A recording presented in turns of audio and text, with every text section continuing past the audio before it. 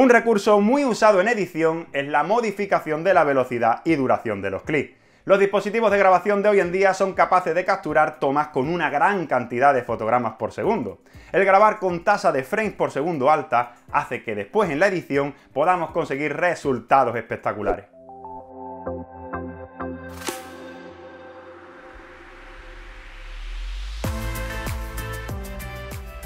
Adobe Premiere ofrece varias opciones para poder modificar la velocidad y duración de sus clics, pudiendo hacer que cambie completamente en todo el clip o que sea variable, es decir, que durante la reproducción vaya la velocidad modificándose.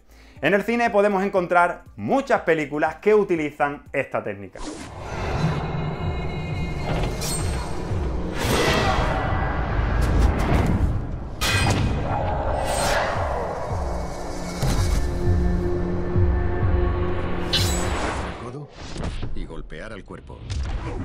Bloquear su izquierda. Castigar la mandíbula. Y fracturar. En este vídeo veremos las opciones que nos da Adobe Premiere para modificar la velocidad y duración de los clics. ¿Estás preparado?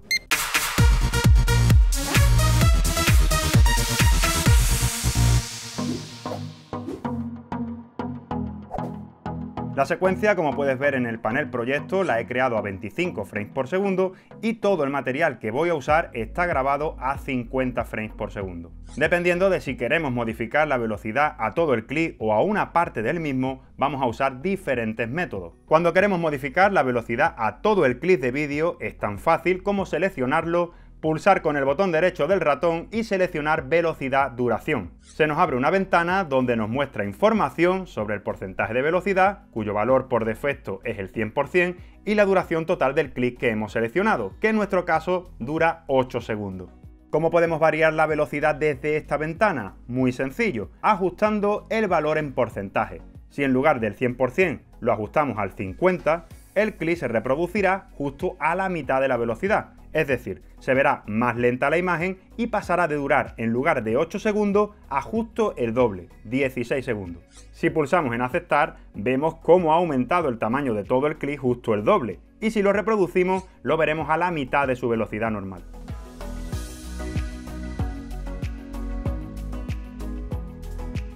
Por el contrario, si ajustamos la velocidad al 200%, el clip se verá el doble de rápido y pasará a durar 4 segundos. Si pulsamos en aceptar y lo reproducimos, vemos que se ha modificado la velocidad en todo el clip. Hemos modificado el porcentaje, pero también podemos ajustar la velocidad modificando el tiempo.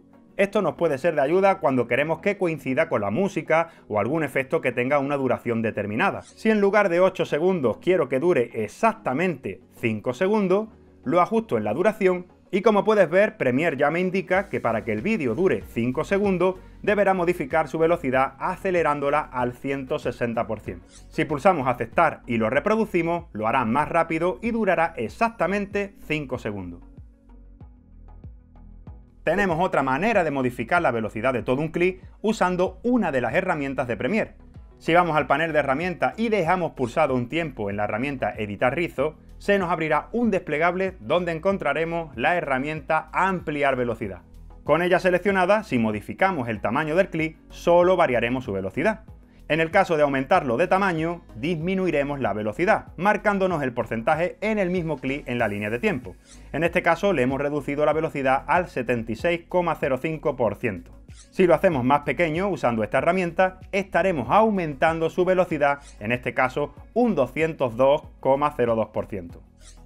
Esta herramienta nos va a ser de mucha utilidad cuando tenemos un clic en nuestra edición y necesitamos que rellene un espacio concreto.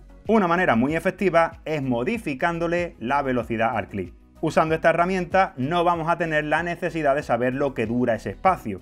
Es tan fácil como seleccionarla y agrandar el clic hasta rellenar completamente el hueco. A continuación veremos cómo realizar variaciones parciales de velocidad en el clic usando la opción de reasignación del tiempo. Si seleccionamos el clic en la línea de tiempo y vamos al panel Controles de efectos, vemos que uno de los efectos es el de reasignación del tiempo y que si lo desplegamos, el parámetro que podemos variar es la velocidad. Como puedes ver, el cronómetro de animación está por defecto activo. Crear un keyframe en la velocidad se puede hacer desde el panel controles de efecto o directamente desde la línea de tiempo. Para hacerlo desde la línea de tiempo voy a agrandar la vista del clic de esta forma. Para activar la reasignación del tiempo del clic, pulsamos con el botón derecho del ratón en su esquina superior izquierda. Y de entre las opciones que nos da, elegimos reasignación del tiempo, velocidad. Fíjate lo que ha ocurrido. Una línea ha aparecido justo en la mitad y será la encargada de mostrar los cambios de velocidad que le apliquemos al clic. Se encuentra justo en el centro y corresponde al 100% de velocidad. Si con el ratón hacemos clic y movemos la línea hacia arriba, estaremos aumentando la velocidad a todo el clic al igual que hacíamos antes. Premiere me indicará mediante este porcentaje la cantidad que estoy acelerando y mediante este escalón me indicará el punto donde llegará el final del clic una vez ajustada la velocidad. Por ejemplo, si aumento a 180%, el tamaño del clic llegará hasta aquí. Si suelto el ratón, la velocidad ha variado y el tamaño del clic también. Por el contrario, si hacemos clic y bajamos la línea, estaremos disminuyendo la velocidad, y cuando lo soltemos el clic será más grande. En este caso no tenemos la indicación de hasta dónde aumentará el tamaño del clic. Si lo bajamos hasta el 80% y lo soltamos, el clic reducirá su velocidad y aumentará su tamaño en la línea de tiempo. Bien, ya sabemos cómo modificar la velocidad ajustando la línea. Vamos a continuación a hacer todas las variaciones que queramos usando los keyframes, que como puedes ver se encuentra aquí en el panel controles de efecto y aquí en la línea de tiempo. Por ejemplo, voy a hacer que cuando se produzca el salto se vea unos instantes en cámara lenta. Para ello vamos a reproducirlo usando el cabezal de reproducción y voy a elegir el punto donde quiero que comience a verse en cámara lenta. Por ejemplo, aquí. En este punto voy a crear un fotograma clave o también llamado keyframe. ¿Cómo? Muy fácil, pulsando en agregar fotograma clave, bien desde el panel controles de efecto o en la propia línea de tiempo. Pulsamos y como ves se nos ha creado ya el primer keyframe. A continuación voy a buscar el punto donde quiero que termine la cámara lenta, por ejemplo aquí, y creamos el segundo keyframe. Si ahora modificamos la línea que queda entre los dos keyframes y la bajamos para reducir su velocidad, solo estaremos modificándola entre los dos puntos que hemos seleccionado. La voy a bajar, por ejemplo, hasta el 40%. Si ahora lo reproducimos, podrás ver el resultado.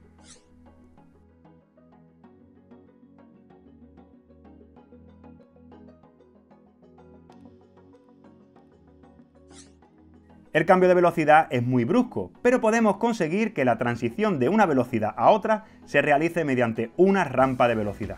Si nos acercamos haciendo zoom en la línea de tiempo, al pulsar en los keyframes aparece una flecha señalando a ambas direcciones.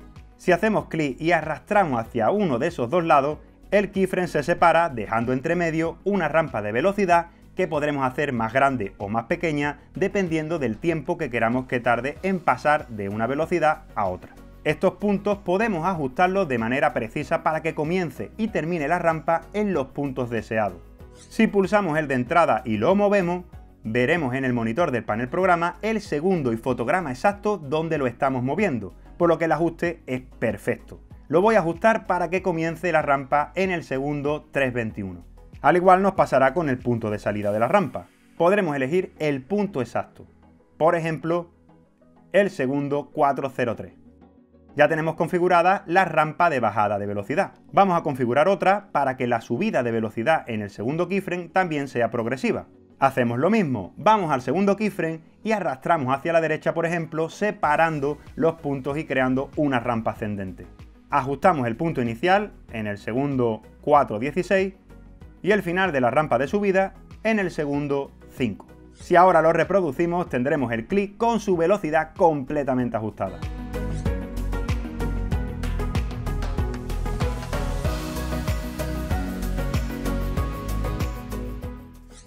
En este ejemplo hemos realizado cámara lenta, pero también podemos crear cámara rápida en determinados momentos de nuestra edición. En este caso tenemos otro clic al cual vamos a crearle una aceleración acompañada de un efecto de sonido que os dejaré para que podáis descargarlo. Activamos la reasignación del tiempo de este clip para poder ajustar la velocidad, buscamos el punto de inicio, por ejemplo aquí, seleccionamos el clic y creamos el primer keyframe. A continuación, buscamos el punto final, más o menos por aquí, y creamos su correspondiente keyframe. Esta vez vamos a modificar la velocidad en función a un sonido, por lo que lo llevaré a la línea de tiempo ajustando el principio del sonido para que coincida con el primer keyframe, y a continuación modificaré la velocidad hasta hacer coincidir el segundo keyframe con el final del efecto del sonido.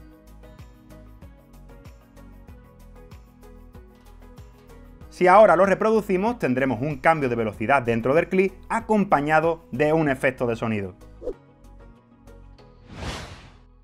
Bueno, espero como siempre que este vídeo sobre cambios de velocidad te haya sido de ayuda. Si ha sido así, no te olvides dejar un like y como siempre te digo, me encantaría poder leer tu saludo o tu comentario sobre el vídeo. Si quieres más información podrás encontrarla en la página web del canal, donde te dejaré, tal y como te prometí, un archivo con algunos efectos de audio para que tus cambios de velocidad te queden perfectos. Suscríbete al canal si te gusta su contenido y compártelo para que más personas se unan a esta aventura. Un abrazo y nos vemos en el próximo vídeo.